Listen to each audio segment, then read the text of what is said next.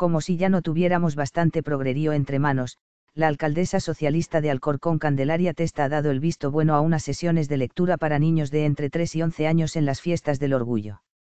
Sesiones de lectura a cargo de drag queens con un programa sobre diversidad, inclusividad y fluidez de género.